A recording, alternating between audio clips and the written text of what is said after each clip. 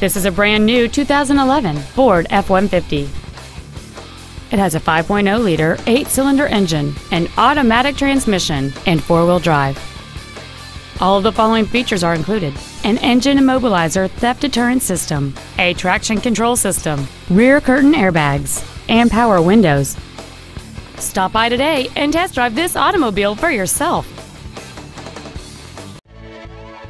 Thank you for shopping at Robinson Brothers Ford, located at 11455 Airline Highway in Baton Rouge.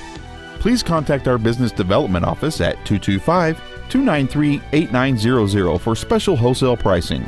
Give us an opportunity to earn your business.